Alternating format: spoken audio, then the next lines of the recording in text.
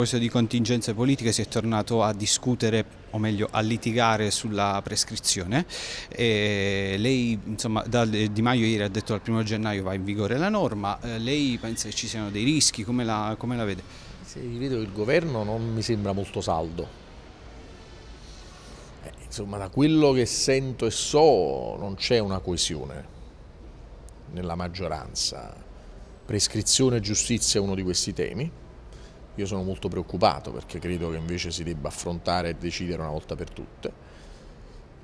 MES, un altro tema che incide anche su quello di cui stiamo parlando, la norma salva stati, le risorse ai territori, la giustizia sociale, la perequazione, eh, la manovra di bilancio anche sta facendo acuire delle differenziazioni, le elezioni regionali, bisogna capire se riescono a trovare un punto di contatto, quindi mi sembra una situazione molto traballante, quindi queste certezze sul primo gennaio,